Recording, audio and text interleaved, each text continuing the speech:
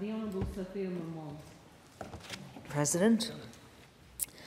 Um, as a person, and this may come as a surprise to some people, I'm quite non judgmental. So, make yourself happy, believe what you want, as long as this doesn't impinge on, impinge on the rights of others. I do have, however, have an issue with two particular quirks. One is wastefulness, and the other one is willful ignorance. Recently, though, false equivalences and the use of ad hominems have also come onto my ra radar. However, I want to focus on willful ignorance here.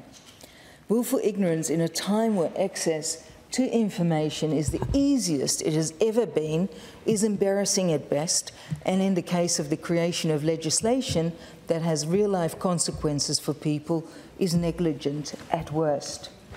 One of these areas where willful ignorance appears to have formed the basis of legislation by this government and other governments is the criminalisation of cannabis use. The fact that cannabis is included in the Poisons Act is a clear example of that. Cannabis has not ever killed anyone.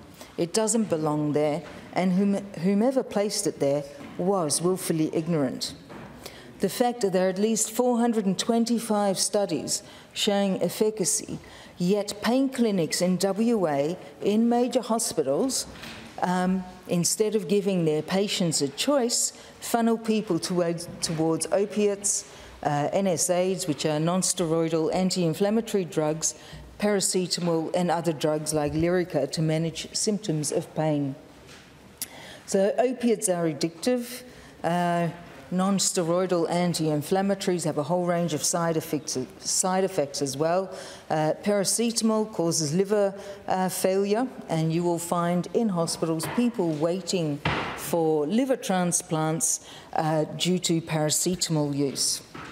So, yet doctors specialising in the management of pain refuse, point blank refuse, to recommend CBD oil. So the only logical reason of why that is, is willful ignorance. The science supports the use of cannabis for many conditions, and people should have the right to choose their medicine.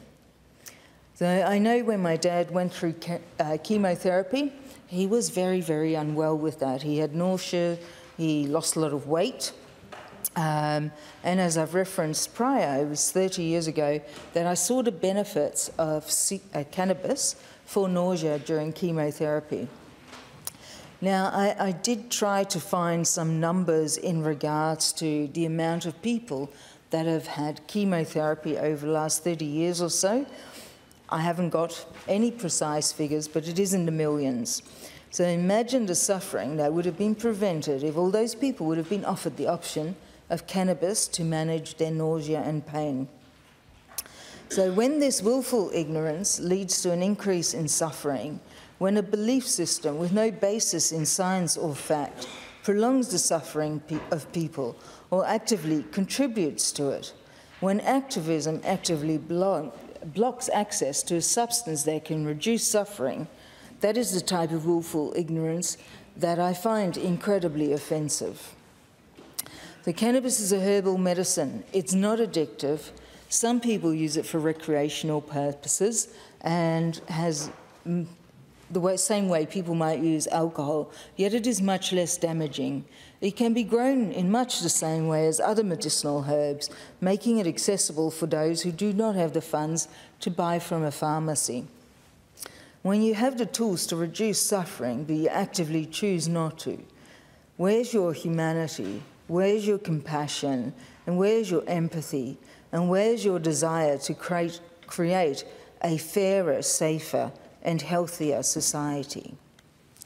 Thank you.